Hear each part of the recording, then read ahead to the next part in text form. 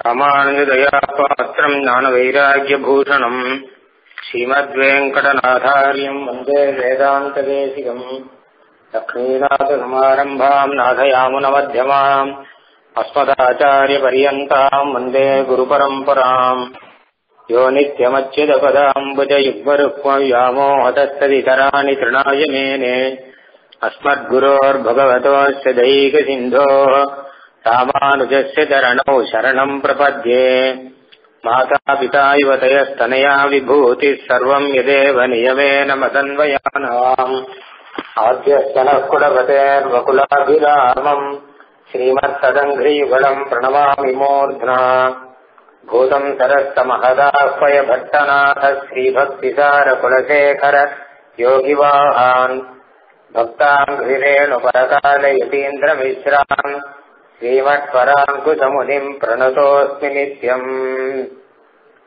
भक्तामृतम् विश्वजनानुमोदनम् सर्वात्तदन्ति शतकोपवाङ्मयम् சகசிரசாகோபனிஷத்சமாகமம் நமாமியகம் திராவிட வேதசாகரம் திருவழிதினாடென்றும் தென்குருகூர் என்றும் மறுவினிய வன்பொருணல் என்றும் அருமறைகள் அங்காதி செய்தான் அடியினையே எப்பொழுதும் சிந்தியாய் நெஞ்சே தெரிந்து மனத்தாலும் வாயாலும் மண்குருகூர் பேணும் இனத்தார எல்லாதிரெஞ்சேன் தனத்தாலும் ஏதும் குறைவிலேன் எந்த சலகோவன் பாதங்கள் யாமுடைய பற்று ஏந்த வெறும் கீர்த்தி ராமானுகமுனிதன் வாய்ந்த மலர்பாதம் வணங்குகின்றேன். ஆழ்ந்த பெரும் சீரார் சடகோபன் செந்தமிழ் வேதம் தரிக்கும் தேராத உள்ளம் பெறா வான்திகழும் சோழை மதிளரங்கர் வன்புகள் மேல் ஆன்ற தமிழ்மறைகள் ஆயிரமும். ஈன்ற முதல் தாய் சடகோபன் மொயம்பால் வளர்த்த இதத்தாய் ராமானுசன் மிக்க விரை நிலையும் நெய்யா முயிர் நிலையும் தக்க நெறியும் தடையாகி தொக்கியலும். ஊழ்வினையும் வாழ்வினையும் ஓதும் குருகையர்கோன் யாழினிசை வேதத்தியல் श्रीमन्नाथमहीन्द्रवंशयतिराडब्धेन्दु तत्प्रेरित श्रीमत् श्रीगुरुकेशलजित् वेदान्तभाष्यम् शुभम् श्रीरङ्गेशकृताज्ञया श्रुतिशिरसूर्युक्तधारक्रमात् व्याकुर्वन्निघवान्तलक्ष्मणमुनिर्दत्ताम् मतिम् निर्मलाम् श्रीमान् वेङ्कटनाधार्य कविराशिचकेशरी वेदान्ताचार्यवर्यो मे सन्निधत्ताम् सदा हृदि पितामहस्यापि पितामहस्य सुतम् वरेण्यम् शतकोपसूक्तेः सहस्रसत्सङ्ख्यकभाष्यकारम् சட்டாரிநாமானமகம் பிரபத்தியே இப்போது திருவாய்மொழியிலே இரண்டாம் பத்திலே எட்டாவது திருவாய்மொழி அணைவது என்பதாக ஆரம்பிக்கக்கூடியது இதற்கு முன்னாடி கேசவந்தமர் என்கிற ஒரு திருவாய்மொழியிலே எம்பெருமான் பக்தர்களுக்கு அனுகிரகம் செய்யும் போது அவர்களோடு மாத்திரம் நிற்காமல் அவர்களை சேர்ந்தவர்களுக்கும் அனுகிரகம் செய்வான் என்பதாக விஷயத்தை பார்த்தோம். கேசவன் தமர் கீழ்மேல் எமர் ஏழேழு பிறப்பும் மாசதிரிது பெற்று நம்முடைய வாழ்வு வாழ்கின்றவா என்று ஆழ்வார் சாதிக்கிறார். கேசவனுடைய கேசவனுடைய பக்தர்கள் முன் ஏழு தலைமுறை பின் ஏழு தலைமுறை எல்லாருக்குமே மாசதிர் இது வெட்டு அவளுக்கெல்லாம் என்ன ஒரு ஆச்சரியம்? அவளுக்கும் ஒரு சாதுரியம். நம்முடைய வாழ்வு. அப்ப நல்ல ஒரு வைஷ்ணவ வாழ்வு அவர்களுக்கும் கிடைக்கிறது. பின்னாடி வரக்கூடிய தலைமுறையில இருக்கிறவர்களுக்கெல்லாம் பகவத் அனுகிரகம் இருக்கு அப்படின்னா அவர்கள் எல்லாம் பணக்காரர்களா இருக்கான அர்த்தம் இல்ல. அவர்கள் எல்லாமும் வைஷ்ணவர்களாக ஆகிறார்கள். அப்போ பகவான் வந்து இவனுக்கு பண்ற அனுகிரகம் என்பது இவனோட நிற்காது. பின்னாடி வரக்கூடியவர்களுக்கும் ஆகும். முன் முன் ஏழு பிறப்பும் ஆகும். பித்திருக்களா இருக்கிறவர்கள் கூட இந்த வைஷ்ணவனா ஒருத்தன் பிறந்தான்னா இவனுடைய தீர்த்தத்தை அவ சாப்பிடும் போது எள்ளு தீர்த்தத்தை சாப்பிடும் போது அவர்கள் சந்தோஷப்படுறாளாம் அப்படின்னு புராணம் சொல்றது. ஆஸ்தோடயந்து பிதரா பிரநிருத்தியந்து பிதாமகா வைஷ்ணவோ ந குலே ஜாதகா எங்க குலத்துல ஒரு வைஷ்ணவன் வந்திருக்கான்னு அங்க இருந்து சந்தோஷப்படக்கூடியவர்கள் பித்திருக்கள் என்பதாக சொல்றது. அதனால அப்படிப்பட்ட ஒரு பணமா அனுகிரகம் பண்ணக்கூடியவன் அப்படிங்கறத போன திருவாய்மொழி சொன்னார். அதுல கடைசி பாசுரத்துல தாமோதரனுடைய திருநாமம் சொல்லும் போது அதாவது பரஸ்வரதிக்கு முன் பாசுரத்துல தாமோதரனை கனி முதல்வனை ஞான முண்டவனை ஆமோ தரவறிய ஒருவர்க்கு என்றே தொழுமவர்கள். தாமோதரனுடைய ஒரு சர்வ ஐஸ்வர்யத்தை சொல்ற ஆமோ தரமறிய இவனுடைய தரத்தை யார்தான் தெரிந்து கொள்ள முடியும்? அப்படின்னு பிரம்மாதி தேவர்கள் கூட ஸ்தோத்திரம் பண்றாளாம். அவர்களும் இதைத்தான் ஸ்தோத்திரம் பண்ணுகிறார்கள். எம்பெருமானுடைய சர்வேஸ்வரத்துவம். இந்த சர்வேஸ்வரத்துவம் என்பதற்கு ஒரு முடிவு கிடையாது. அதாவது எம்பெருமானுடைய சர்வேஸ்வரத்துவம் இந்த அளவு அப்படின்னு நம்மளால பரிச்சேதம் பண்ணி முடிவு கட்ட முடியாது. ஏன்னா அண்டரண்ட பகிரண்டங்கள் எத்தனை அண்டங்கள் இருக்கோ எல்லாத்துக்கும் ஈஸ்வரனாக இருக்கக்கூடியவன் பிரம்மாதி சமஸ்த தேவர்கள்லேருந்து ஆரம்பிச்சு கீழே இருக்கக்கூடிய புது பூச்சி வரைக்கும் எல்லாத்தையும் அழகா நடத்தி அழிச்சுன்னு போறவன். அந்த சர்வேஸ்வரத்தை அந்த பாட்டுல அழகா சொன்னார். சொல்லிட்டு அதோட முடிஞ்சிட்டு அதுக்கப்புறம் பலஸ்வருதி சொல்லி முடிச்சுட்டார். இப்ப அவருக்கு ஆழ்வாருக்கு அந்த சர்வேஸ்வரத்துவம் மனசுக்குள்ள இருக்கு. அதை சொன்னார் இல்லையோ? அது என்ன ஒரு பாட்டுல சொல்லி விடக்கூடிய விஷயம் இல்லையே. அது எம்பெருமான் சர்வ ஈஸ்வரன் அப்படிங்கிறது ஏதோ ஆமோ தரவசி எம்மானை என் நாழி வண்ணனையே அப்படின்னு அவனை தரவறிய ஆமோ அப்படிங்கிற அவனுடைய அபரிச்சேத்திய வகித்து அவனுடைய அபரிச்சேத்திய மகத்துவத்தை சொல்லி ஏவம் பூதானவன் கிடீர் எத்பரன் அப்படிங்கிற அபரிச்சேத்திய மகத்துவம். அளவிட முடியாத ஒரு பெருமை இருக்கு எம்பெருமானுக்கு. அதை சொல்லியிருக்காரு அந்த பாட்டுல. அது அவருடைய மனசுல இன்னும் இருக்கு. அதை இன்னும் விஸ்தாரமா சொல்லணும்னு ஆசையா இருக்கு.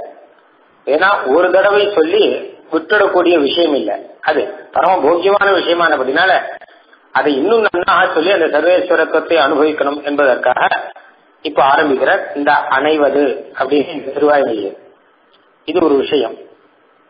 இன்னொரு விஷயம் போன திருவாய்மொழியிலே சொன்னது தான் மாத்திரமல்ல தன்னை சேர்ந்தவர்கள் எல்லாருமே பகவானுடைய அனுகிரகத்தினாலேயே அவர்கள் நல்ல சாதுரியம் பெற்று பகவத் பக்தர்களாகி நல்ல வாழ்வு பெற்றார்கள் அப்படின்னு சொன்னார். இப்போ தன்னை சேர்ந்தவர்கள் அப்படின்னா தன்னுடைய வம்சத்திலே வந்தவர்கள். அப்படிலாம் மாத்திரம் இல்லாமல் என்னோட கூட இருக்கிறவர்கள் சம்சாரிகள் யார் யார் இருக்காலோ மொத்த பேருக்கும் இந்த பகவத் அனுகிரகம் வரணும் அப்படின்னு ஆழ்வாருக்கு ஆசை. நாட்டில் பார்த்தா பல பேர் ஏதோ அவரவர்கள் காரியத்தோட அவரவர்கள் ஓடிட்டு இருக்கா எல்லாரும். இருந்தா கூட அவர்களுக்கும் இந்த ஒரு வாழ்வு கிடைச்சா இவ்வளவு நன்னா இருக்கும் அப்படின்னு நினைச்ச ஆழ்வார் அவர்களை கூட்டு உபதேசம் பண்றதாக இந்த பத்து பாசம் இருக்கு. எம்பெருமானுடைய சர்வேஸ்வரத்தை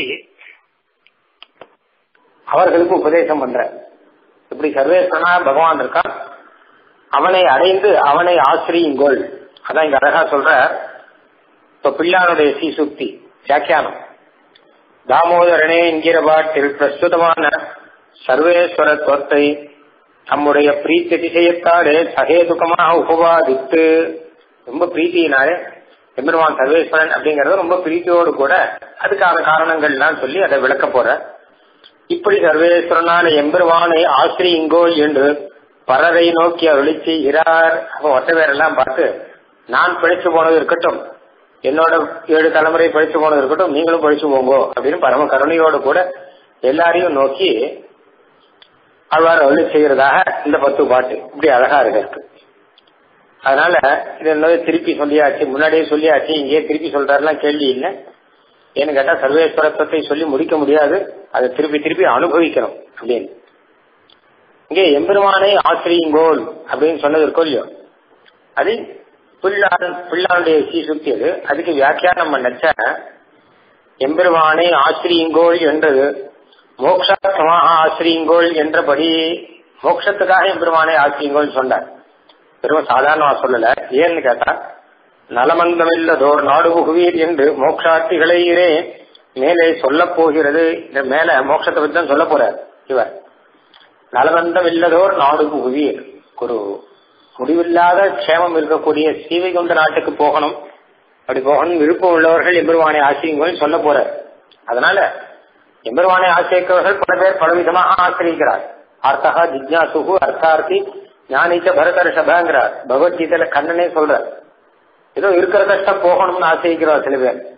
புதுசா சௌக்கியம் வரணும்னு ஆசிரிக்கிறவா நிறைய பேர். இந்த மாதிரிலாம் நிறைய பேர் உண்டு. ஆனா மோட்சத்துக்காக எம்பெருவானை ஆசிரியங்கள் தான் ஆழ்வார் உபதேசம். பைசாவுக்காக ஆசிரியங்கிறது அதை உபதேசம் பண்ண மாட்டார். ஆயிரம் பாட்டுல. ஆயிரம் பாட்டுல ஆழ்வார் உபதேசம் பண்றது மோட்சத்துக்காக உபதேசம். மோட்சத்துக்காக பகவானை ஆசிரியக்கணும்னு அதனால இத்தால் இத்திருவாய்மொழிக்கு முக்தி ரசப்பிரதத்துவம் என்ற பகவத் குணம் பிரதிபாத்தியம். ஒவ்வொரு திருவாய்மொழியும் ஒவ்வொரு குணத்தை சொல்றார். அப்படின்னு பார்த்தோம் வரும். அப்ப இந்த திருவாய்மொழியில என்ன குணத்தை சொல்றாருன்னா முக்தி ரசப்பிரதத்துவம் மோட்சமாகிற ரசத்தை கொடுக்கிறவன். என்ன அர்த்தம்? இதுலயும் ஒரு விஷயம் இருக்கு. மோட்சமாகிற ரசத்தை கொடுக்கிறவன்னா மோட்சத்தை கொடுக்கிறவன் அப்படின்னு அர்த்தம். ஆனா அந்த அர்த்தம் இங்க எடுத்துக்க கூடாதுன்னு இருக்க வெறும் மோட்சத்தை கொடுக்கறான்னு அர்த்தம் இல்ல மோட்சத்துல ரசத்தை கொடுக்கறான். அதான் முக்தி ரசத்தை கொடுக்கறான் மோட்சத்தை கொடுக்கறாங்கிறத காட்டிலும் அதை ரசமாக்கி கொடுக்கறான் அப்படிங்கறதுதான் இங்க ரொம்ப முக்கியம். வெறும் முக்தி ஹேது அப்படின்னு சொல்லாமல் தாற்பரிய ரத்தாவளியில சுவாமி தேசிகன் முக்தி சாரஸ்ய ஹேதும் அப்படின்னு சொல்ற முக்தி சௌக்கியம் முகுந்தே அப்படின்னு சொல்ற அதனால இதெல்லாம் சொல்றபடினால அந்த ஒரு ரசத்தை சொல்ற இங்க. மோட்சமாகிற ஆனந்த அனுபவத்தை கொடுக்கக்கூடியவர் அப்படின்னு. அப்போ எம்பெருமானை ஆசிரியுங்கள் எம்பெருமானை செவியுங்கள். அதனால முக்தி திசையிலே ரசாவகனாய் இருக்கே சொல்ல உங்களுக்கு முக்தி திசையில ரொம்ப ரசமாக பகவான் இருப்பான். ரசத்தை கொடுப்பவனாக இருப்பான் அப்படின்னு சொன்னது. அதனால இப்படி அழகாக ஒரு சங்கதி சொல்லிருக்கார் ஆச்சாரியாலாம் சாய்க்கிற பாருங்க. தம்முடைய அனுபந்திகளும் தான் பெற்ற பெயற்றை பெற்றார்கள் என்று கீழ் திருவாய்மொழியிலே அனுசந்தித்தவாறே. என்னோட கூட பிறந்தவாளும் இதை அனுபவிச்சான் இச்சமிருத்தி நாட்டார் எல்லாரும் பெற வேண்டும் என்ற அபிலாஷம் பிறந்து ததர்த்தமாக அவர்களை குறித்து உபதேசிக்கிறார். நாட்டார் எல்லாரோடும் கூட அனுபவிக்கணும். எம்பெருமான் எல்லாருக்கும் ஆனந்தத்தை கொடுக்கணும். இந்த ரெண்டாவது பத்திலேயே சொல்லக்கூடிய விஷயம் பிராபியத்துவம் எம்பெருமான் தான் அடையத்தக்கவன் அப்படிங்கிற விஷயத்த சொல்ற அதனால அவன் மோட்சத்தை கொடுக்கறான் அதுவும் போக்கியமாக இருக்கக்கூடியவன். மோட்ச ரசத்தை கொடுக்கறாங்க அப்படின்னால அவனே அடையத்தக்கவன் அப்படிங்கறத சொல்ற அதுல இப்போ ஒவ்வொரு பாசனமாக பார்க்கலாம். முதல் பாசனம் அனைவது அரவணை மேல் பூம்பாவை பூம்பாவை ஆகம் புணர்வது. இருவரவர் முதலும் தானே. இணைவனாம் எப்பொருட்கும் வீடு முதலாம். புனைவன் பிறவி கடல் நீந்துவார்க்கே. எம்பெருமானானவன் ஆதிசேஷனிலே சைனித்துக் கொண்டு இருக்கக்கூடியவன் சிரியப்பதியாக லக்ஷ்மிபதியாக இருக்கக்கூடியவன். பிரம்ம ருத்ரர்களுக்கு நிர்வாககனாக இருக்கக்கூடியவன். நாட்டார் இருப்பதை போல அவர்களுக்கு அனுகிரகம் செய்வதற்காக அவர்களோடு சமமாக இந்த பூமியிலே வந்து அவதாரம் செய்தவன். அவதாரம் செய்ததும் அந்த ஜெகத்தை காப்பாற்றுவதற்காக என்று இருப்பவன். மோட்சம் வேணும் என்று அபேட்சிப்பவர்களுக்கு அவர்களுடைய தடைகளான பாபங்களை எல்லாம் போக்கி அவருக்கு மோட்சத்தை கொடுக்கக்கூடியவன். இந்த காரணங்களினாலே ஸ்ரீ நாராயணனே சர்வேஸ்வரன் என்பதாக இந்த பாசுரத்தினுடைய அர்த்தம். இங்க எம்பெருமானுக்கு இருக்கக்கூடிய இந்த சுபாவங்களை எல்லாம் பார்த்தால் ரொம்ப அசாதாரணமாக இருக்கு. யாருக்கும் இல்லாத சுபாவங்களாக இருக்கு. அதனால அவன் வந்து சர்வேஸ்வரன் அப்படிங்கறது இதனாலே தெரிஞ்சுக்கலாம் என்பதாக அவனுடைய சர்வேஸ்வரத்துவத்தை சொல்லும் போது சொல்ற எம்பெருமானுக்கு உபய விபூதி இருக்கு. உபய விபூதி நாதன் அப்படின்னு அவனுக்கு திருநாமம். உபய விபூதினா இங்க இருக்கக்கூடியது சம்சாரத்துல இருக்கக்கூடியது பிராகிருத விபூதி. அப்புறம் சீதைகுந்த லோகம்னு ஒரு லோகம் இருக்கு. அது சம்சாரத்துல சேர்ந்தது இல்ல அது அப்ராகிருதம் அது சுத்த சத்துவமயமான திவ்யமான ஒரு வைகுண்ட லோகம். அது அதை பத்தி வேதங்கள்ல நிறைய சொல்றது தேவானாம் பூர யோத்யா தஸ்யாகும் ஹிரண்மய கோசா அப்படிலாம் நிறைய சொல்லியிருக்கு. அந்த சிவிகுண்ட லோகத்தை நிர்வாகம் பண்றவன் அதுவும் பெரிய லோகம்தான். அங்கேயும் நிறைய தேவர்கள்லாம் இருந்துருக்கால் தேவர்கள்லாம் நித்திசூரிகள் அனந்தகருட விஸ்வசேனாதி நித்திசூரிகள்லாம் பகவானுக்கு கைங்கரியம் பண்ணிட்டு இருக்காள் அதான் சீவிகுண்ட லோகத்துல. ஆக என்ன அழகான விஷயம் கேட்டா இந்த லோகத்தை ஆள்றான் அப்படிங்கறது இருக்கட்டும். சீவிகுண்ட லோகத்தை ஆள்றாங்கிறத முதல்ல பார்க்கணும். அது வேற யாரும் போய் நினைச்சு கூட பார்க்க முடியாத ஒரு இடம் அது. எல்லாரும் உள்ள கூட போக முடியாது சீவிகுண்ட லோகத்துக்குள்ளேயே. கர்மபந்தம் இருக்கிறவ யாரும் போக முடியாது. அப்படிப்பட்ட ஒரு ஆச்சரியமான லோகம் அது. அதனால சி அவனுடைய சர்வேஸ்வரத்துவம் அப்படின்னா அதுல முதல்ல அதை ஆரம்பிக்கிற சீவிகுண்ட லோகத்தில் இருக்கக்கூடியவன். எப்படின்னு கேட்டா அனைவது அரவணை மேல் ஆதிசேஷன்லேயே சயனித்துக் கொண்டிருக்கான். ஆதிசேஷன் இருக்கக்கூடிய இடம் சீவிகுண்ட லோகம். அனந்தன் கருடன் விஸ்வக்சேனர் அப்படின்னு மூணு பேரையும் சேர்த்து சொல்ற வழக்கம். ஆதிசேஷனான அனந்தன் கருத்மானான வாகனமாக இருக்கக்கூடியவர் விஸ்வக்சேனர் சேனாதிபதியா இருக்கக்கூடியவர். மூணு பேரும் அங்க இருக்கிறவாழ்ல பிரதானர்கள். அதனால அதுக்கு ஒரு உதாரணமா சொன்னார். அனந்தன் அனந்தன்ல சயனத்துல இருக்கக்கூடியவர் அப்படின்னா முதல்ல இந்த லோகத்துல எடுத்திருந்தாலே இங்க பாம்புல படுத்துட்டு யாரும் கிடையாது. அப்படி இல்ல அந்த கதையெல்லாம் யாருக்குமே கிடையாது. ஆனா சீவைகின்ற லோகத்துல அந்த நித்திய சூர்யா இருக்கும் அனந்தங்களோட சர்வஜன். அவருக்கு தெரியாத விஷயமே கிடையாது. அவருக்கு இன்னும் பல இடங்கள்ல பூஜை எல்லாம் உண்டு கோயில் எல்லாம் உண்டு எல்லாம் உண்டு. சர்வஜனாக இருக்கக்கூடியவர் அவர் வந்து ஒரு படுக்கையாக இருந்து கைங்கரியம் பண்றாராம். அப்படி அப்படிப்பட்ட படுக்கை யாருக்கு இருக்கும் நல்லா பார்க்கணும். அதாவது சர்வஜனா இருக்க ஒரு படுக்கையா இருக்காருன்னா அதுவும் எங்கேயும் இருக்காது. நம்ம படுக்கையில படுத்தனா நமக்கே ஞானம் இருக்காது அப்படின்னா படுக்கைக்கு எப்படி ஞானம் இருக்கும்? படுக்கையில படுக்கிறவனுக்கே ஞாபகம் இருக்காது. அவனுக்கே ஒரு நினைவும் இருக்காது. அவனே அடிச்சு போட்டு பணம் மாதிரி படுத்துட்டு இருப்பான்.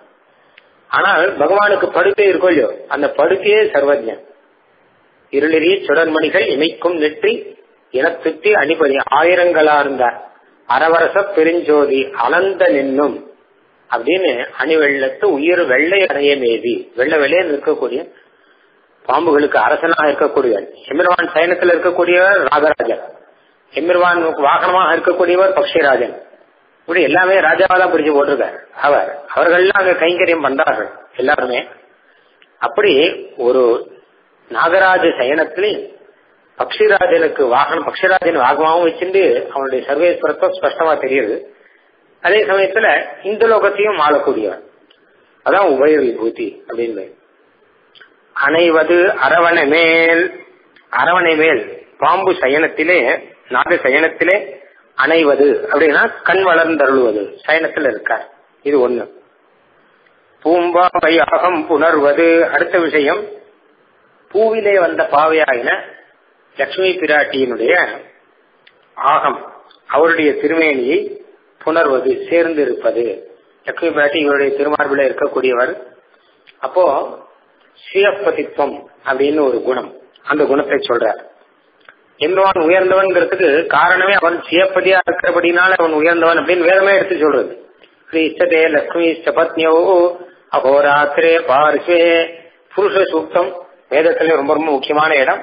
அது எம்பெருமானி சொல்லும்போது லக்ஷ்மி இஷ்டதே பத்னியோ. ஸ்ரீனா பூதேவி. பூதேவியும் லக்ஷ்மி தேவியும் உன்னுடைய பத்னி ஆச்சே என்பதாக வேதமே எடுத்து சொல்லக்கூடியது. இந்த பிரபாவங்கள்லாம் யாருக்கு இருக்கு? சிவப்பதி அப்படிங்கணும் அந்த லக்ஷ்மியினுடைய அனுகிரகம் தான் எல்லாருக்குமே. லோகத்துல மொத்த பேரும் அவருடைய அனுகிரகத்தினாலே வந்தவர்கள்ங்கிறத காமிக்கிறதுக்காக அவருடைய திருநாமத்தை சேர்த்து ஸ்ரீன்னு சொல்ற வழக்கம். லோகத்துல எது எது சிரேஷ்டமான வஸ்துவோ அதையெல்லாம் ஸ்ரீன்னு சொல்றோம். ஏன்னா லக்ஷ்மியுடைய அனுகிரகம் இருக்கு. இல்ல ஸ்ரீமத்துன்னு சொல்லணும். ஸ்ரீ அப்படின்னோ ஸ்ரீமத்து அப்படின்னோ லக்ஷ்மி பிராட்டியுடைய திருநாமத்தை சேர்த்து அவர் அனுபவத்தோடு இது இருக்கு அப்படின்னு நாங்க சொல்றோம். அப்படி இருக்கும்போது அப்படிப்பட்ட லக்ஷ்மி பிராட்டியானவர் யாரோட இருக்கார்? அப்படின்னா பகவானோட இருக்கார் அப்படின்னா அவர் எப்படிப்பட்ட ஐஸ்வர்யம் அவருக்கு இருக்கணும். பொதுவா ஐஸ்வர்யம் நாம சொல்றோம். ஐஸ்வர்யத்துக்கெல்லாம் மொத்தத்துக்கும் காரணமானவரே லக்ஷ்மி பிராட்டி தான். அவரே அங்க அவரே அந்த பெருமாளோட கூட இருக்கார் அப்படின்னா திருவங்கியாளர் சொல்ற திருவுக்கும் திருவாகி செல்வா அப்படிங்கிற. லக்ஷ்மி திருவுக்கு கூட ஸ்ரீக்கு கூட ஸ்ரீயா இருக்காராம் ஸ்ரீ ஸ்ரீயா. ஸ்ரீக்கும் ஸ்ரீயாக அவருக்கும் அந்த பெருமையை கொடுத்து கொண்டு பெருமாள் இருந்துட்டு இருக்கார் அது அவருடைய ஐஸ்வர்யம். பூம்பாவை யாவம் புணர்வது இருவர் முதலும் தானே. அது மாத்திரமல்ல இருவர் இருக்கல்யோ இருவர்கள்னா பிரம்மா ஒருத்தர் சிவன் ஒருத்தர். மொத்தம் மூணு பேர். அதுல ஒருத்தர் இவர் சொல்லிட்டு இருக்க மற்ற ரெண்டு பேர் கல்யம் இருவரவர் முதலும் தானே. அந்த பிரம்ம ருத்ராதிகளுக்கு இருவரவர் அப்படின்னு பொதுவா சொல்லிட்டேன் பேரை சொல்லல. பேரை சொல்ல வேண்டிய அவசியம் இல்லை. ஏன்னா அவ ரொம்ப பிரசித்தமானவர்களானபடினால பிரம்மா விஷ்ணு சிவன் அப்படின்னு லோகத்துல ரொம்ப பிரசித்தம். விஷ்ணு சொல்லிட்டு இருக்கோம் அப்புறம் அந்த ரெண்டு பேர் கழிஞ்சு அவர்களுக்கு முதலும் தானே. அவர்களுக்கு காரணமாக தானே இருக்கக்கூடியவர். பிரம்மாவையும் படைத்தவராக சிவனையும் படைத்தவராக ஆதி காரணமாக நாதி கவனத்திலே பிரம்மாவை படைத்து பிரம்மா மூலமாக சிவனை படைத்தார். அப்படின்னு எல்லா புராணங்களும் சொல்றது. அதனால இருவரவர் முதலும் தானே. இப்ப முதல்ல சொன்னது நித்திய விபூதியில சீவைகுண்ட விபூதியில ஆதிசேஷ சயனம் லக்ஷ்மிபதியாக பெருமாள் இருக்காங்க. அடுத்தது இந்த லோகத்தை இந்த லோகத்தை எப்படி நடத்துறாரு அப்படின்னா இந்த லோகத்துல அந்த ரெண்டு பேருக்கே சிருஷ்டி பண்ணவர் அவர் தான் அப்படின்னா மற்ற பேரை பத்தி சொல்ல வேண்டிய அவசியமே கிடையாது. வேற எந்த தேவர்களை பத்தியும் சொல்ல வேண்டிய அவசியம் கிடையாது. இணைவனாம் எப்பொருட்கும் வீடு முதலாம் எப்பொருட்கும் இணைவனாம் எல்லா வஸ்துக்களுக்கும் சமமாக இருக்கும் இது அடுத்த பெருமை என்ன கேட்டா அவனுடைய லோகம்தான் இந்த இந்த விபூதி. இதுக்கு லீலா விபூதின்னு பெயர். அதற்கு நித்திய விபூதி அப்படின்னு பெயர்.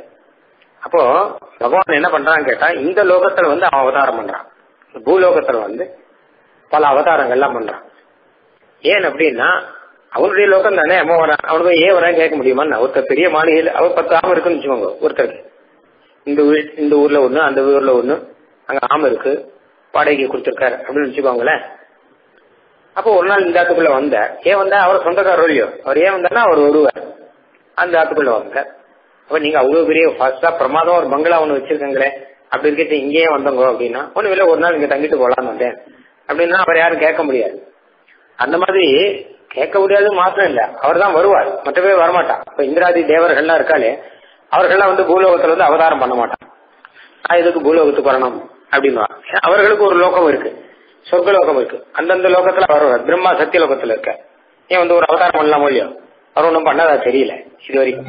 பண்ண வேண்டிய அவசியம் இல்லை எங்களுக்கு. நாங்க சௌக்கியமா இருக்கோம் அப்படிங்கிறார் ஆனா பெருமாளுக்கு பண்ணணும். என்ன பண்ண வேண்டிய அவசியம் அப்படின்னா இவருடைய லோகம் தானே இது. மற்றொருத்தர் லோகம் இல்லையே. தன்னுடைய லோகத்துல தானே வர எதுக்காக வர அப்படின்னா வீடு முதலாம் மோட்சம் கொடுக்கறதுக்காக வராராம் அப்போ இணைவனாம் எப்பொருளுக்கும் எல்லா பொருள்களுக்கும் சமமாக எந்த லோகமானாலும் இப்ப தேவலோகம் இருந்தா தேவலோகத்துல தேவர்களுக்கு சமமாக அவதாரம் பண்ற அதுதான் விஷ்ணு அவதாரம் யூக அவதாரம். அதெல்லாம். திருப்பாக்கடல்ல ஒரு அவதாரம் இருக்க க்ஷீராதிநாதனாக அவதாரம் இருக்க அது எதுக்காக கேட்டா தேவர்களுக்காக. தேவர்கள்லாம் ஏதாவது குறைன்னா திருப்பார்கடல்ல தான் போய் சொல்லணும். சீவிகண்ட லோகத்துக்கு போக முடியாது அவளால. இப்ப ஏதாவது குறைன்னா பெருமாளை பார்த்து சொல்லணும்னா அதுக்கு ஒரு இடம் முடியும்.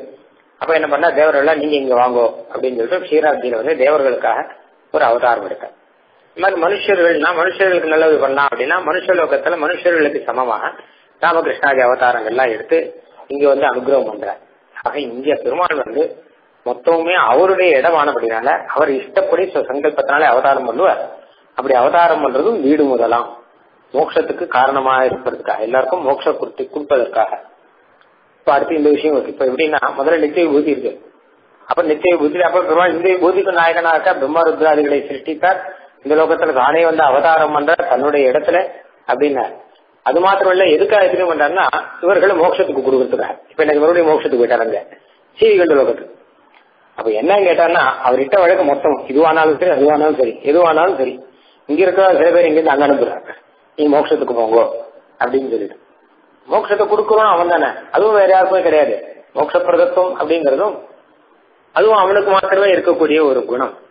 அப்போ யாரை கூட்டு சம்சாரத்தை வைக்கணும் யாரை கூட்டு மோட்சத்தை வைக்கணும்? அனந்த கருட விஸ்வசேனர்கள்லாம் எப்பவுமே சீவி ஒன்று லோகத்துல இருக்கார் அதுக்கப்புறம் சம்சாரிகள்லாம் இங்க சம்சாரத்துல இருக்கா சம்சாரத்துல சில பேர் ஒரு காலகட்டத்துல இதெல்லாம் முடிச்சு மோட்சத்துக்கு போறார் எல்லாரையும் நிர்வாகம் பண்றதான் பகவான் ஒருத்தன் தான் அதான் அவனுடைய ஈஸ்வரத்துவம். இணைவனாம் எப்பொருட்கும் வீடு முதலாம். புனைவன் பிறவி கடல் நீந்துவார்க்கே. அப்படிப்பட்ட எம்பெருமாட்டான் கடல் நீந்துவார்க்கு. இந்த பிறவி சம்சாரமாகிற சமுத்திரம். இந்த சமுத்திரத்தை நீந்தி போகணும் அப்படின்னு இதை தாண்டி போகணும் அப்படின்னு நினைப்பவர்களுக்கு புனைவன் தெப்பமாக இருக்கக்கூடியவன் ஒரு ஓடமாக இருக்கக்கூடியவன். சம்சாரங்க கடல்ல நீந்தி போகணும்னு ஆரம்பிக்கிறார். ஆனா அதை நீந்தி போக முடியாது.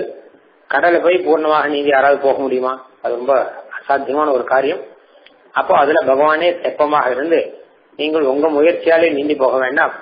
என்ன பிடிச்சுக்கோங்க நான் கொண்டு விட்டுறேன் தெப்பமானது எப்படி போச்சு? இவாளையும் சேர்த்து கடைசி சேர்க்குமோ அந்த மாதிரி நான் உங்களை கொண்டு போய் விட்டுறேன். அப்படின்னு பகவான்? விஷ்ணுபோத்தம் வினா நான் எது கிஞ்சி கிஞ்சிதஸ்திங்கிற விஷ்ணு அப்படிங்கிற ஒரு ஓடம் தவிர வேற ஓடம் கிடையாது. இந்த சம்சார சாகரத்தை தாண்டுவதற்கு இதை தவிர வேற வழி கிடையாது. மற்ற ஓடங்கள்லாம் எதா இருந்தா அது ஓட்டை ஓடமா இருக்கும் ஒழுகல் ஓடமா இருக்கும். அது விஷ்ணு போட்டம் விஷ்ணுங்கிற ஒரு தெப்பம்.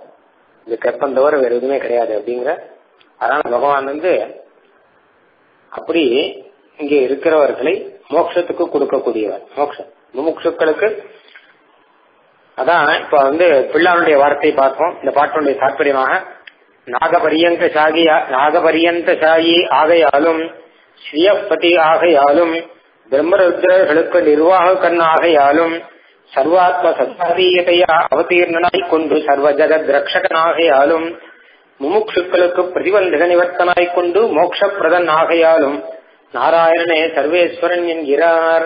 பகவானுக்கு இத்தனை ஐஸ்வர்யம் இருக்கு. அதனால அவனே சர்வேஸ்வரன். பெருமாளுடைய ஐஸ்வர்யத்தை சொல்லும்போது இதெல்லாம் சொல்லி ஆனந்தமா சொல்ற. என்ன அழகுவா இருக்கும் அங்க சில பேர் வச்சிருக்கான் இங்க சில பேர் வச்சிருக்கான் தான் இங்க வந்தா இங்க இருந்து சில பேர் அங்க அழிச்சுட்டு போறான். அப்படின்னா இந்த லோகத்துல மொத்தத்துக்கும் நிர்வாகம் பண்ணக்கூடியவனாக பகவான் இருக்காங்க. இரண்டாவது கோசரம் நீந்தும் துயர் பிறவி உட்பட மற்றவையும் நீந்தும் துயரில்லா வீடு முதலாம் பூந்தன் புனல் பொய்கை யானை இடர் கடிந்த. பூந்தன் துழாய் என் தனிநாயகன் புனர்பே என்று. இதுல வீடு முதலாம் என்கிற பதத்தை விவரிக்கிறது அப்படின்னு பிள்ளான் சாதிக்கிறார். வீடு முதலாம்னு போன பாட்டுல சொன்னார் இல்லையோ? வீடு முதலான்னா மோட்சத்துக்கு காரணமானவன். முதல்னா காரணம் மோட்சத்துக்கு காரணமானவன் மோட்சத்தை கொடுக்கக்கூடியவன் அப்படின்னு சொன்னதையோ அதை இந்த பாசுரத்துல கொஞ்சம் அழகா சொல்றாராம். அதாவது நீந்தும் துயர் புழவி உட்பட மற்றவையும் நீந்தும் துயரில்லா வீடு. மோட்சம் எப்படிப்பட்டதுன்னா எத்தனை கஷ்டப்பட்டு நீந்தி நீந்தி நீந்தி எத்தனை கஷ்டப்பட்டு நீந்தி போகணும்னு நினைச்சாலும் நீந்த முடியாத அளவு துக்கங்கள். கடக்க முடியாத துக்கங்கள் கடக்க முடியாத பிறவிகள் இதெல்லாம் உட்பட இன்னும் என்னென்ன இருக்கோ இது எல்லாம் சேர்ந்து நீந்தி போகணும். ஆனா நீந்தி போக முடியாமல் இருக்கிறவாளுக்கு அப்படிப்பட்ட அந்த சம்சாரமாகிற துக்கமே இல்லாமல் நீந்துகிற கஷ்டமே இல்லாமல் பிறவிங்கிற துக்கமே இல்லாமல் இருக்கக்கூடிய இடம் மோட்சம் அந்த மோட்சத்துக்கு முதலாக எம்பெருமான் இருக்கான். இதுக்கு என்ன சாட்சி அப்படின்னா முன்னொரு சமயம் கஜேந்திரனுக்கு மோட்சம் கொடுத்ததே சாட்சி அப்படிங்கிற ஒரு ஆணைக்கு ஆதி மூலமே கத்தின ஆணைக்கு சம்சாரத்திலிருந்து மோட்சம் கொடுக்கிறார். அதுக்கு சாட்சியா தான் முதல்ல முதலிலேருந்து மோட்சம் கொடுக்கிறார். அதாவது மோட்சம்னா என்ன அர்த்தம்? ஒரு ஒரு பந்தத்துல இருக்கிறவன் அதுல இருந்து விடுபடுறதுக்கு மோட்சம் பேர் முதலை வாயில மாட்டின்னு இருக்கிற கஜேந்திரனுக்கு முதல்ல முதலை கிட்ட இருந்து மோட்சத்தை கொடுத்தார். அப்புறம் சம்சாரத்திலிருந்து மோட்சத்தை கொடுத்தார். அதனால பூந்தன் புனல் பொய்கை யானை இடர் கடிந்த ரொம்ப பூக்கள் எல்லாம் நிறைந்த குளிர்ந்த ஒரு குளத்திலே இருந்த யானையினுடைய துக்கத்தை களைந்து அதுக்கு மோட்சத்தை கொடுத்தவன் பசுமையான குளிர்ந்த துளசி மாலைகளை தரித்திருக்கக்கூடிய எம்பெருமான் அவனுடைய தனிநாயகன் புனர்ப்பே அவனுடைய தொடர்பு தான் நமக்கு மோட்சத்துக்கு காரணமாகும். எம்பெருமானோட்டை உள்ள சம்பந்தம் தான் மோட்சத்துக்கு நமக்கு காரணம். வேற எதுவும் இல்லை அப்படிங்கறதாக இந்த பாசுரத்திலே சொல்ற. அதாவது ஜென்ம ஜரா மரணாதி அப்பிரவித சமஸ்த துக்க ரகிதமான மோட்சத்துக்கு காரணம் எம்பெருமானோடு உள்ள சம்பந்தம். இந்த பிள்ளான் தாற்பயம் சொல்லும்போது அழகா இருக்கும். தாற்பயம் தான் சொல்லு பதார்த்தங்கள்லாம் சொல்ல மாட்டேன். பதார்த்தங்கள்லாம் பாத்துக்கலாம் அந்த பதத்திலே இது கிடைக்கும்.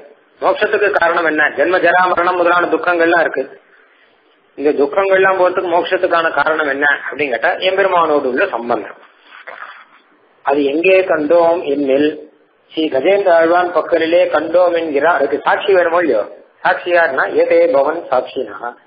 அப்படின்னு ஸ்லோகம் சொல்ல இவாதான் சாட்சிகள். பிரகலாதஸ்ட விபீஷணஸ்ட கரிராட் பாஞ்சாலி அகல்யா துருவா அப்படிங்கிற. இது சாட்சி என்ன? ஒரு சாட்சி இல்ல. இப்ப பிரகலாதன் விபீஷணன் கஜேந்திரன் பாஞ்சாலி அகல்யா துருவன் இத்தனை சாட்சி கொண்டு வர சேவிய ஸ்ரீபதி ரேக ஏவ. உங்களுக்கு என்ன வேணாலும் சரி பகவான தான் சேவிக்கணும். ஜகதாம் ஏதே பவன் சாட்சினா பிரகலாதஸ்ட விபீஷணஸ்ட கரிராட் பாஞ்சாலியகல்யா இவர்களுக்கெல்லாம் எப்படி இப்படிலாம் பகவான் காப்பாத்திருக்காங்கிறத பாருங்கோ சேவிய ஸ்ரீபதி ரேகேவ அப்படின்னா அந்த மாதிரி ரீதியில மோட்சம் கொடுப்பான். இருக்கிற கஷ்டத்திலிருந்து மோட்சம் கொடுப்பான்னா கஜேந்திராவோட மோட்சம் கொடுத்தாலும் அதுவே சாட்சி. அங்கேயே நாம பார்த்தோம் அப்படின்னு சொல்றேன் நீந்தும் துயர் பிறவி உட்பட மற்ற விவையும் நீந்தும் துயர் இல்லா வீடு முதலாம். நீந்தும் துயர் பிறவி அப்படின்னா நாம நீந்திக் கொண்டே இருக்கக்கூடிய துக்கங்களை உடைய இந்த பிறவி அப்படின்னு அர்த்தம். சம்சாரத்துல நீந்த என்ன இருக்கா? இன்னும். இன்னும் இன்னும் எங்கேயும் போயிடுற போல இருக்கு. இன்னும் உடல இன்னும் மாத்தி மாத்தி எப்படி வெளியில வரலாம்? அப்படிமா நீந்தி கொண்டே இருந்துட்டு இருக்கான். பல துக்கங்கள் வரும் பல துக்கங்கள்ல நீந்தின்னு இருக்கான். அப்படி நீந்தும் துயர் புறவி உட்பட இந்த ஜென்மம் போல மற்ற விதையும் இன்னும் வேற என்னென்ன இருக்கோ எல்லாம். கர்ப்ப ஜென்ம ஜராமிருதி கிளேச கர்ம சதுர்மிகா அப்படிங்கிறார் பட்டர். ஜென்மம்னா பிறவி பிறவியோட போறது இல்ல ஜென்மம் வந்தா ஜரான்னு ஒன்று வரும் வயசாகும். மிருத்தினா மரணம் வரும் மறுபடியும் கர்ப்பன் வரும். அதுல இருக்கக்கூடிய கஷ்டங்கள்லாம் நிறைய வரும். இது மாதிரி நிறைய இருக்கும் இல்லையோ? அப்போ நீந்தும் துயர் பிறவி உட்பட மற்ற பிறவியும் இந்த பிறவி மாத்திரம் என்ன? அப்புறம் இந்த பிறவினாலே வரக்கூடிய இன்னும் மற்ற என்னென்ன இருக்கோ அது என்ன? இதெல்லாம் நீந்தும் துயரில்லா வீடு முதலாம். இதையெல்லாம் நீந்தி இருக்கக்கூடிய துக்கங்கள்.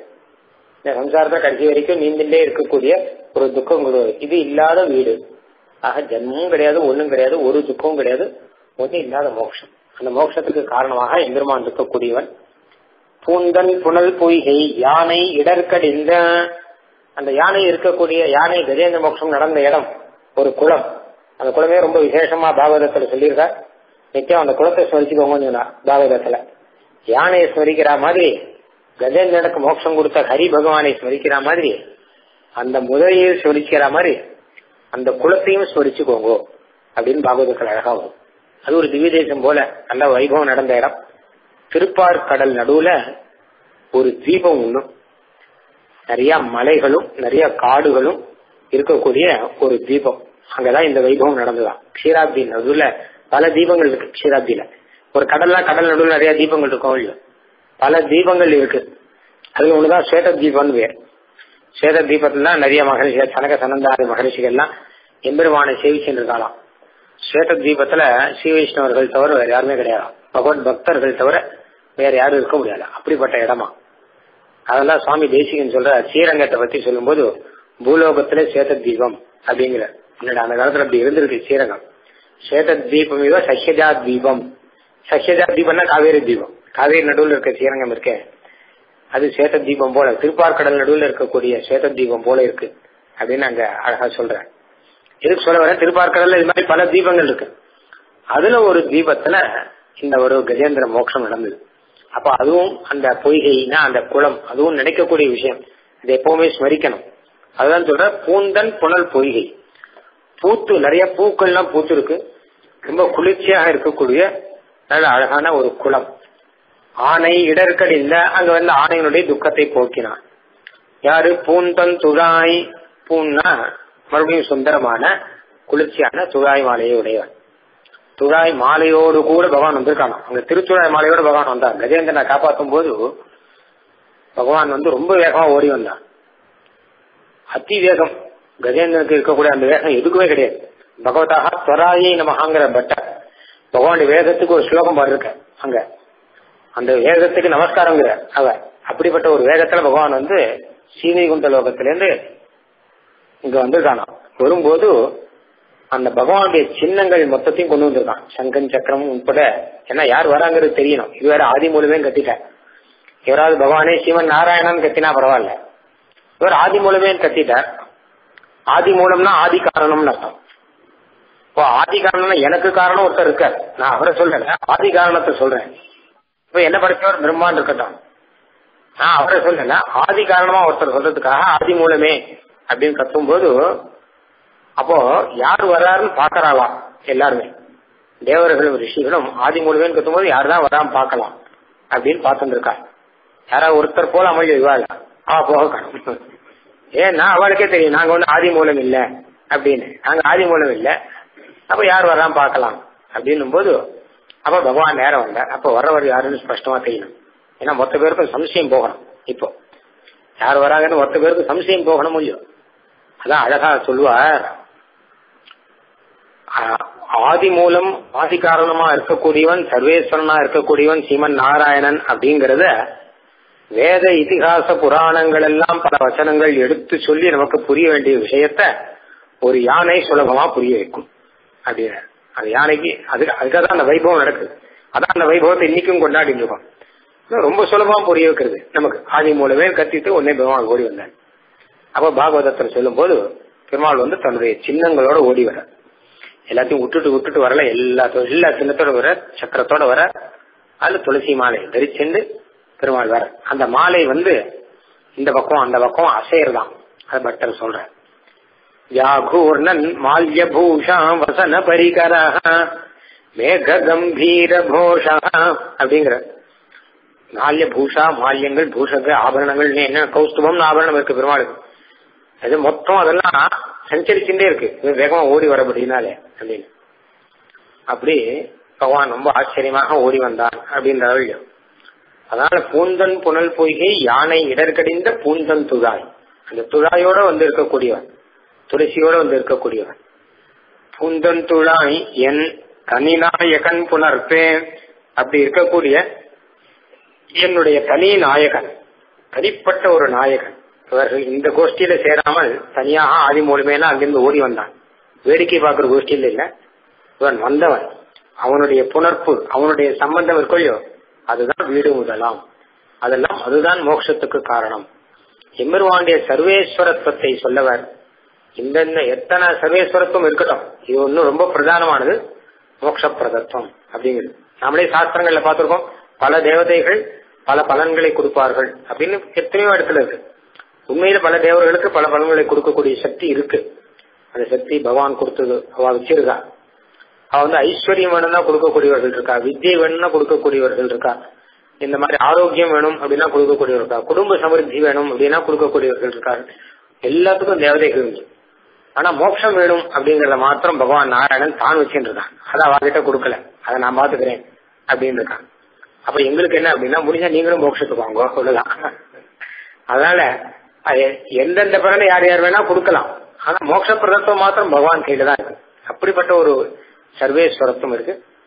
அந்த யானைக்கு வந்து அன்னைக்கு முதலை கிட்டே இருந்து மோட்சம் கிடைச்சது இது முதல் விஷயம். சாபத்திலிருந்து மோட்சம் கிடைச்சது இது ரெண்டாவது விஷயம்.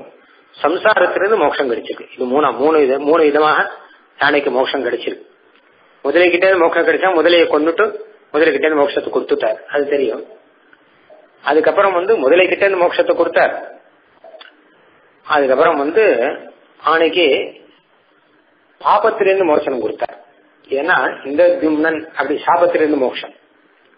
இந்திரஜும்னன்கிற ராஜா தான் அவன் யானையா இருந்த யானை மாதிரி மதம் பிடிச்சிருந்தான். அகஸ்தியர் மகரிஷி வந்திருக்கும் போது இவன் போய் உடனே அவரை போய் பார்க்கல. இவன் ராஜாவா இருக்கா?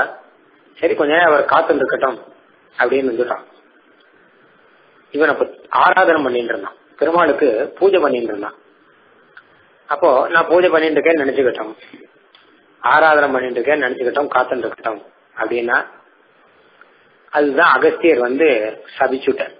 நீ யானை மாதிரி மதம் பிடிச்சி இருக்க அதனால யானையா போயிடு அப்படின்னுட்டார் ஏன்னு கேட்டா பாகவதர்கள்லாம் வந்தான்னு வச்சுக்கோங்க.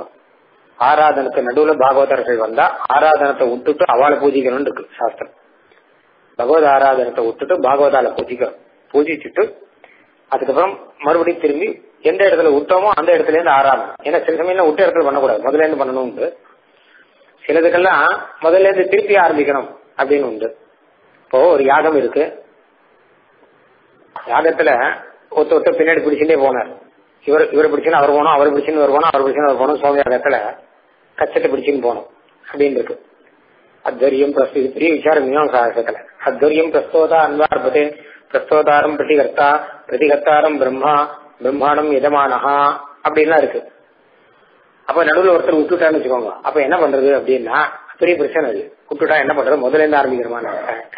இல்ல இங்க இருந்து ஆரம்பிக்கணுமா? அப்படின்னு சொல்லிட்டு அப்ப அதுக்கு பிராயச்சிட்டு வந்து முடியும் நீ விட்டுட்டியானா? இதை தொடர்ந்து பண்ணு.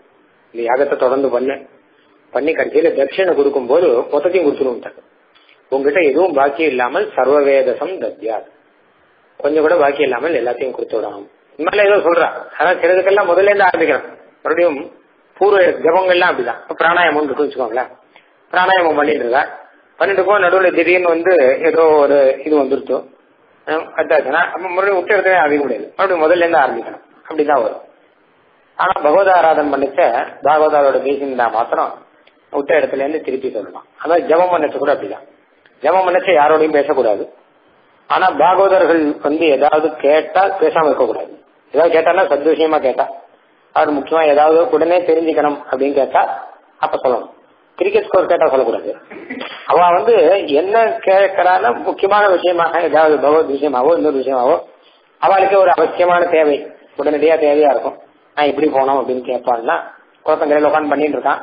அவன் வந்து ஏதோ அவசியமா விஷயம் கேட்கறான்னா அப்ப அவளுக்கு பதில சொல்லிட்டு அதுக்கப்புறம் வந்து மேல தொடர்ந்து ஜபம் பண்ணணும் அப்ப எழுபத்தெட்டு ஆச்சு அப்புறம் எழுபத்தி இருந்து பண்ணணும் அப்படி இதெல்லாம் சாஸ்திரத்துல இருக்கு. மொத்தமும் எல்லாமே சாஸ்திரத்துல இருக்கக்கூடிய விஷயம்.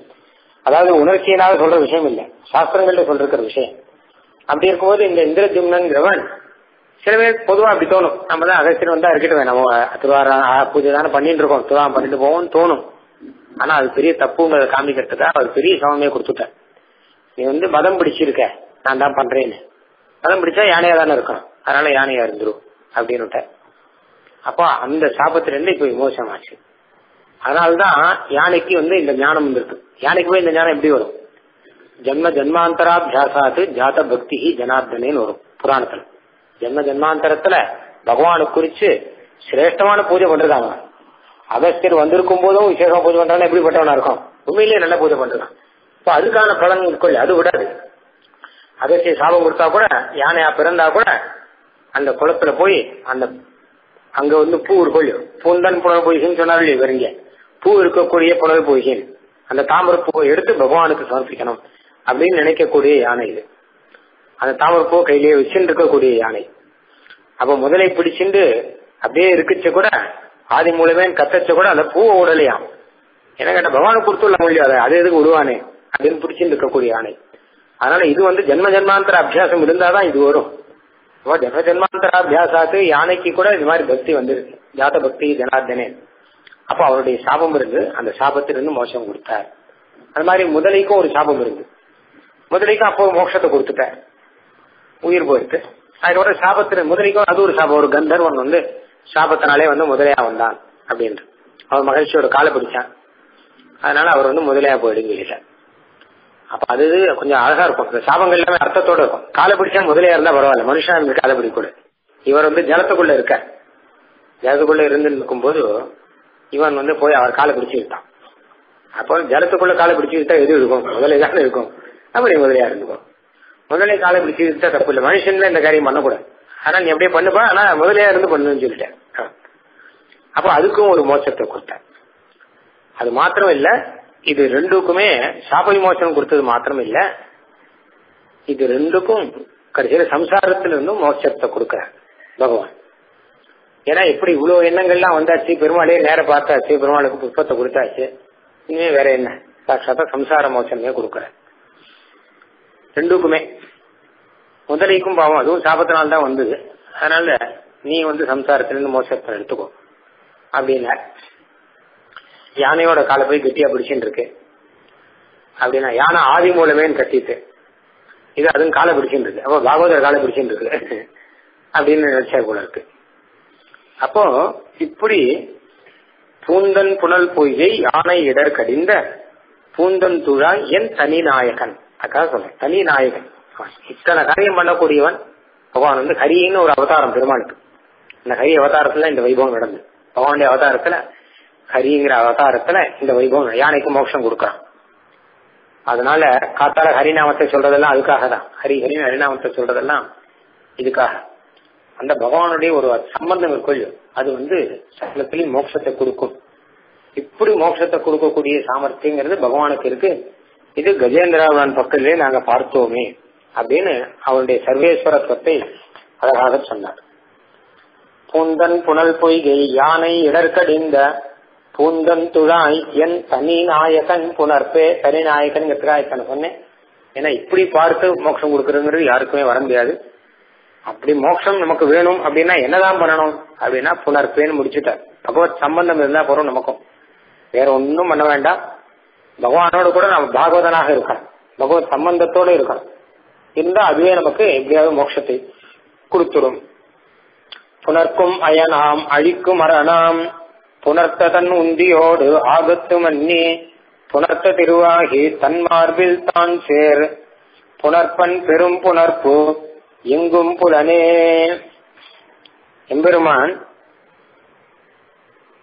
ஒரு நாபி கமலத்திலே தன்னுடைய தேகத்திலே ஒரு நாபி கமலத்திலே பிரம்மாவை சிருஷ்டித்திருக்கார் அதே போல தன்னுடைய திருமேனியிலே ஒரு பக்கத்திலே சிவனை வைத்துக் கொண்டு ரட்சிக்கிறார். மாத்திரமல்ல உலகத்தை சிருஷ்டிக்கக்கூடிய பிரம்மாவுக்கும் உலகங்களை சம்ஹாரம் செய்யக்கூடிய சிவபிரானுக்கும் அந்தராத்மாவாக உள்ளுக்குள்ளே இருந்து கொண்டு தச்சரீரங்கனாக இருந்து கொண்டு அவர் அவர்களையும் காப்பாற்றுபவராக இருக்கிறார். அவர் தன்னுடைய திருமார்பிலே லக்ஷ்மியை வைத்துக் கொண்டிருக்கிறார்.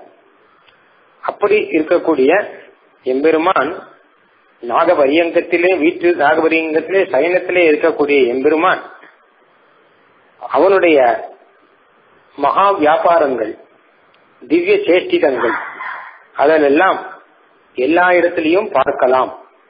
பிரத்யட்சமாக பார்க்கலாமே அப்படின்னு சொல்ற எம்பெருமாண்டி இதே மாதிரியான சர்வேஸ்வரத்தும் இருக்குள்ளும் நீ இங்க மாத்திரம் இல்ல பல இடத்துல நாம பார்க்கலாமே. அப்படிங்க பல சரித்திரங்கள் இருக்கு எத்தனை புராணங்கள் இருக்கு எத்தனை சரித்திரங்கள் இருக்கு.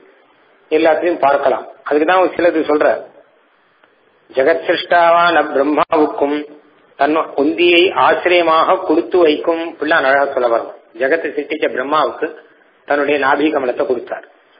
ஜெகத் சிருஷ்டாவான பிரம்மாவுக்கும் தன் உந்தியை ஆசிரியமாக கொடுத்து வைக்கும். ஜெகத் சம்ஹர்த்தாவான ருத்ரனுக்கும் தன் திருவுடம்பை ஆசிரியமாக கொடுத்து வைக்கும். சர்வலோகேஸ்வரியான பிராட்டிக்கும் தன் திருமார்பை கொடுத்து வைக்கும் எல்லாருக்கும் பிராட்டி அவனை திருமார்பில் வச்சார். திருவனந்தாழ்வான் மேலே கண் வளர்ந்தருளும் இது எல்லாத்தையும் பண்ணிட்டு கடைசியில இவர் எங்க இருக்காரு அப்படின்னு கேட்டனா ஆதிசேஷன் இருந்துருக்கார் சயனத்துல இருக்கார். இப்படி எம்பெருமானுடைய சர்வேஸ்வரத்த சின்ன பூதமான திவ்ய சேஷ்டிதங்கள் எங்கும் பிரத்யட்சிக்கலாம் என்கிறார். இந்த திவ்ய சேஷ்டிதங்கள்ல நீங்க எங்க வேணாலும் பார்க்கலாமே. நீங்க எந்த புராணம் வேணா எடுத்து பாருங்க. இந்த மாதிரி எம்பெருமானுடைய திவ்ய சேஷ்டிதங்களையும் நாம பார்த்துட்டே இருக்கலாம். அப்படிங்கிற. பல சரித்தங்களையும் நாம பார்க்கலாம் அப்படின்னு. புனர்க்கும் அயனாம் அழிக்கும் அரணாம். புனர்த்த தன் உந்தியோடு ஆகத்து மன்னி அழகா சொல்லணும். புனர்த்த தன் உந்தியோடு. அதாவது புணர்த்த அப்படின்னா பிரம்மாவை சிருஷ்டித்தன்னு அர்த்தம். பிரம்மாவை சிருஷ்டிச்ச ஒரு நாபி கமலம். அது மட்டும் இல்லாமல் தன்னுடைய ஆகம். ஆகம்னா திருமேனி. அந்த திருமேனியில இருக்கக்கூடியவர்கள் இவா ரெண்டு பேர். திருநாபியிலும் திருமேனியிலும் இருக்கக்கூடியவர்கள் பிரம்மாவும் சிவனும் என்பதாக. அவர் இவர் எப்படிப்பட்டவர்கள்னா புனர்க்கும் அயனாம் அழிக்கும் மரணம் இவர் சிருஷ்டி செய்யக்கூடியவர் அவர் சம்ஹாரத்தை செய்யக்கூடியவர். அப்படி சிருஷ்டி செய்யக்கூடிய சம்ஹாரத்தை செய்யக்கூடிய அவர்களுக்கு இடத்தை கொடுத்து அவர்களுக்குள்ளே அந்தரியாமையா இருக்கக்கூடியவர். பிரம்மாவுக்கு நாபிகவனத்தை பெருமாள் கொடுத்தாருங்கிறது ரொம்ப பிரசித்தம். நாபிகவனத்துல பிரம்மாவை சிருஷ்டி பண்ணாருன்னு. ஒரு பிரளய காலத்துல சிவபெருமானை தன்னுடைய உடம்புல ஒரு பக்கத்துல வச்சு ரட்சிச்சார் அப்படின்னு புராணங்கள்ல இருக்கு. அதனால அவர்களெல்லாம் அவர்களுக்கெல்லாம் தன் திருமணியில இடம் கொடுத்து ரட்சிக்கிறார். இதுக்கெல்லாம் மேல சர்வேஸ்வரியாக இருக்கக்கூடியவர் ஈஸ்வரிக்கும் சர்வபூதானாம் சுவாமி கோபக்வ ஏஸ்வரியம்னு சர்வபூதங்களுக்கும் ஈஸ்வரியான பெரிய பிராட்டியா இருக்கிறோம் அவருக்கும் தன்னுடைய திருவார்வை கொடுத்தார். எத்தனை அழகா விஷயம் ரொம்ப அழகா இருக்கு. சர்வ ஜெகத் சிரஷ்டா ஒருத்தர்னா அவருக்கு நாபியை கொடுத்தார். சர்வ ஜெகத் சம்ஹாரம் பண்ண ஒருத்தார் அப்படின்னா அவருக்கு ஒரு இடத்த கொடுத்தார். சர்வ ஜெகத் ஈஸ்வரி அப்படின்னா அவருக்கு ஒரு இடத்த கொடுத்தார். எல்லாருக்கும் தன் திருமணியில் இடத்த கொடுத்து இருக்கிறது அவரு. அப்படிப்பட்டவர் இவர் எங்க இருக்காருன்னா ஆதிசேஷன்ல இருக்கார். அது அழகான விஷயம். அப்பதான் சர்வேஸ்வரன் புனர்க்கும் அயனாம் அழிக்கும் அரணாம் புணர்த்த தன் உந்தியோடு ஆபத்து மன்னி புணர்த்த திருவாகி தன் மார்பில் தான் சேர் தன் மார்பில் தன்னுடைய வக்ஷத்திலே புனர்த்த திருவாகி புனர்த்த சேர்ந்திருக்கிற திரு லக்ஷ்மி பிராட்டி. லக்ஷ்மி பிராட்டி தன் மார்பிலே சேர்ந்திருக்கும்படி இவர் ஆகி அப்படின்னு அர்த்தம். பிராட்டியானவர் இப்படி பச்சதாம் சர்வதேவானாம் ஏயோ வக்ஷஸ்தலம் ஹரேஹே அப்படின்னு அவர் அவதாரம் பண்ணி பல தேவர்கள் பார்த்துட்டு இருக்கும்போது எம்பெருமாடி திருமார்பிலே தானே வந்து அவர் வீட்டு இருந்தார் அப்படின்னு அந்த குளிர்ந்த இடத்துல அவர் வந்து வீட்டு சமுத்திரத்திலிருந்து லட்சுமி பிராட்டி அவதாரம் பண்ணாராம். அவதாரம் பண்ணி குளிர்ந்தியான குளிர்ந்த இடத்துல ஒரு அமிர்தத்திலிருந்து அவதாரம் பண்ணாராம் அதே மாதிரி குளிர்ந்த இடம் எங்க இருக்கு? லோகத்துல பார்த்தா பெருமாளுடைய திருமார்பு. மனசு அப்படி குளிர்ந்து இருந்துதான் சரி இதுதான் நமக்கு சரியான இடம் அப்படின்னு சொல்லிட்டு அங்க போய் பிராட்டியானவர் நித்திவாசம் பண்றாராம். அப்படி எம்பெருமான் புணர்த்த திருவாகி தன்மார்பில் சான் சேர். புனர்ப்பன் பெரும் புணர்ப்பு அப்படின்னு சேர் புணர்பன் சயன வியாபாரவான். நாகபரியங்கத்திலே இத்தனையும் பண்ணிட்டு பெருமாள் வந்து கடைசியில சயனத்துல இருக்கார். எல்லாம் பண்ணிட்டு அகபரிங்கத்திலே வச்சுக்கணும் நம்ம அப்போ. அதாவது ஒண்ணும் தெரியாத மாதிரி படுத்துட்டு இருக்கார் அப்படின்னு பாசுரத்திலே வாழ சொல்லுவோம் வெள்ளையரன் நான்முகன் இந்திரன் வானவர் புல்லூர்தி கடல் பணிந்து ஏத்துவரே. கல்வா எம்மையும் ஏழுலகையும் படைத்து மின்னுள்ளே தோற்றிய இறைவா. பிரம்மா எல்லாம் என்ன சோத்திரம் பண்றாரு அப்படின்னா கல்வான்னு ஆரம்பிக்கிறார். கல்வா அப்படின்னா ஏன்னா அவர் படுத்துட்டு இருக்கார் இப்போ ஒரு பெரிய பெரிய காரியங்கள்லாம் செய்யறவங்களே இங்கேயும் அங்கேயும் ஓடி கீடி பரபரப்பா அப்படிலாம் இருக்க வேண்டாமோ? ஒண்ணு விடாம படுத்துட்டு இருக்கார். அப்ப இவர்கள் எல்லாம் கஷ்டப்பட்டு பிரம்மா கஷ்டப்பட்டு அவர் நிறைய சிருஷ்டி எல்லாம் ரொம்ப பிஸியா பண்ற சிவன் வந்து சம்ஹாரங்கள்லாம் ரொம்ப பிஸியா பண்ற சரி ஒஞ்சு சமயத்துல இவர் ரஷணம் பண்ற ஒழிஞ்ச சமயத்துல இவர் என்ன பண்றாரு அப்படின்னு சொல்லி வந்து பார்த்தானா இவர் படுத்துட்டு இருக்காரு. ஒண்ணு இல்லாம படுத்துட்டு இருக்காரு. அதான் சொல்ல கல்வா. ஒண்ணு தெரியாத மாதிரி படுத்துட்டு இருக்காரு. கல்வா என்ன கேட்டா எம்மையும் ஏழுலகையும் படைத்து முதல்ல எங்களை படைச்சதே நீதான். அப்புறம் எங்கள் மூலமாக ஏழுலகையும் படைத்தது நீதான். எம்மையும் ஏழையும் படைத்து நின்னுள்ளே தோற்றிய இறைவா என்று. அப்படி எல்லா காரியமும் பண்ணிட்டு கடைசியில் ஒண்ணும் தெரியாம படுத்துட்டு இருக்காரு. அட்லீஸ்ட் வந்து விசாரிச்சு என்ன நான் சொன்னேன் எல்லாம் சரியா நடந்துட்டு இருக்கா?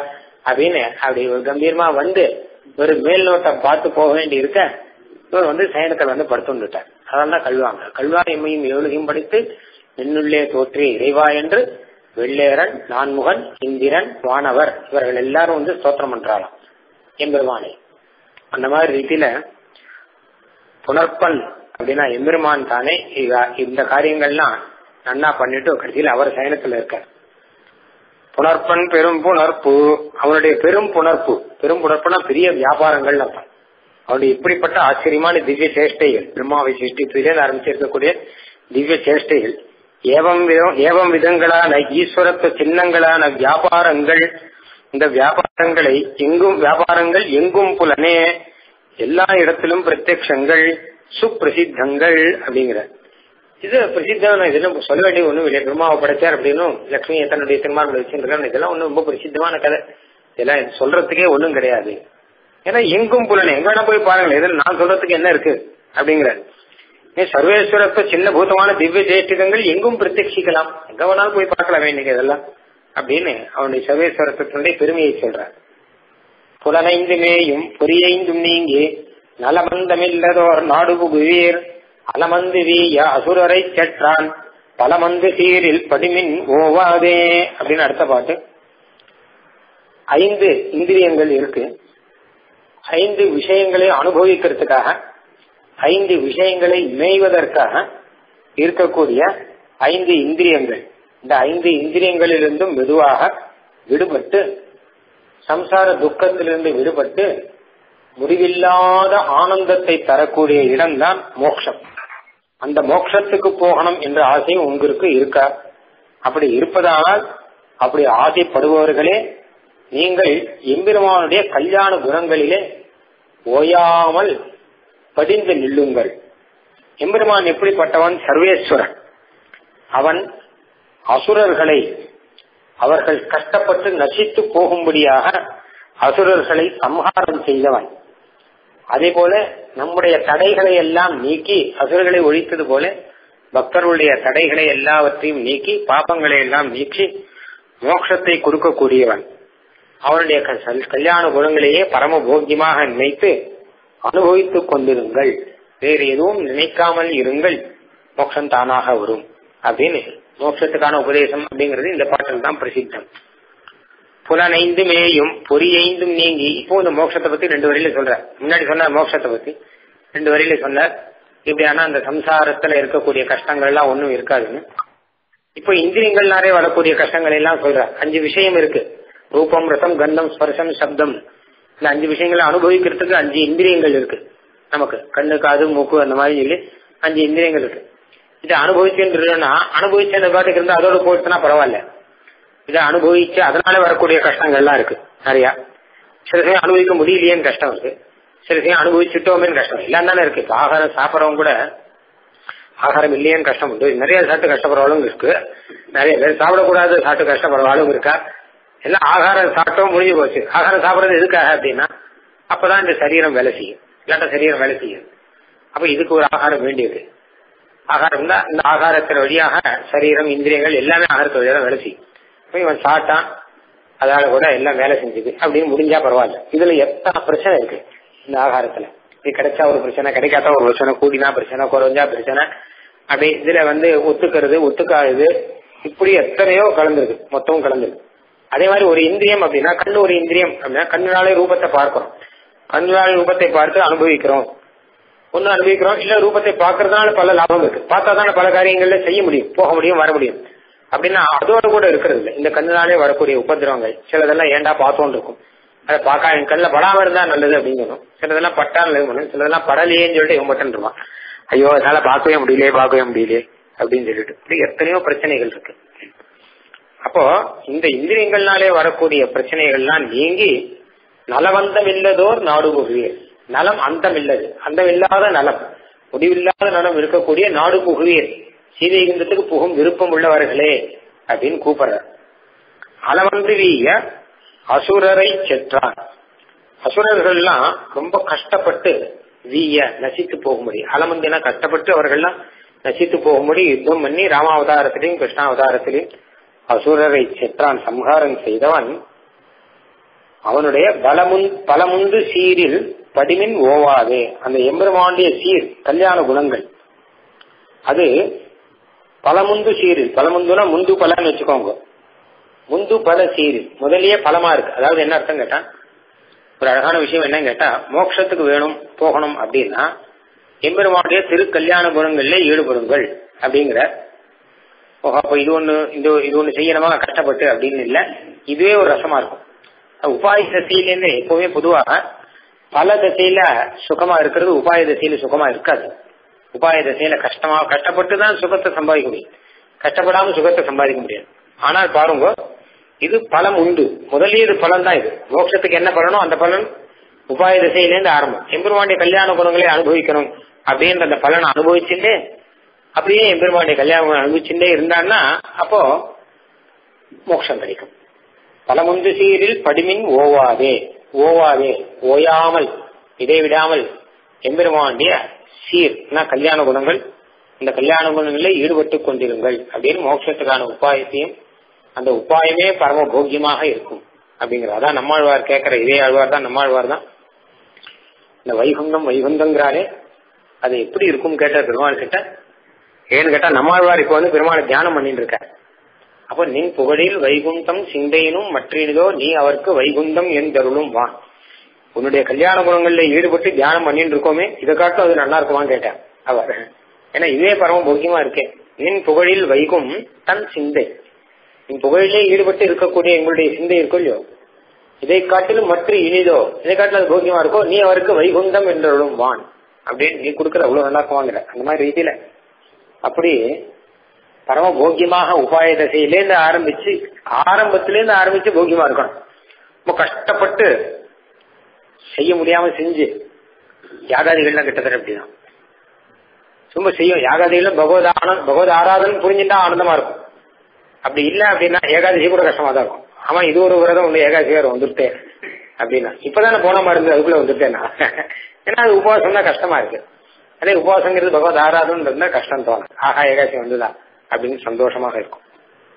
இங்க வந்து எம்பெருமானை வந்து முக்தி சௌக்கியம் மோட்சத்துல சௌக்கிய சௌக்கியமா இருக்கு. மோட்சத்திலே சௌக்கியத்தை கொடுக்கக்கூடியவன் அப்படிங்கிற குணத்தை சொல்லும் போதும் பிராபியாகாரோபத்யா ஜனி பரிகரணாத் விஸ்வசிருஷ்டியாதி சக்தேகே நிஸ்ஸீமானந்த தேசான்வயத உபஜகௌ ரக்ஷணார்த்தாவதாராத் சுப்பிரக்யாதானுபாவாத் விவித விகரணாத் வியாப்தி வைச்சித்யவத்வாது பக்த இருத்ரா பக்தருத்ராதிருஷ்யபாவாத் அகில பல கிருத்தே முக்தி சௌக்கியம் முகுந்தே முகுந்தன் தான் முக்தி சௌக்கியம் அப்படிங்கறத முகுந்தனிடத்தில் முக்தி சௌக்கியம் இருக்கு.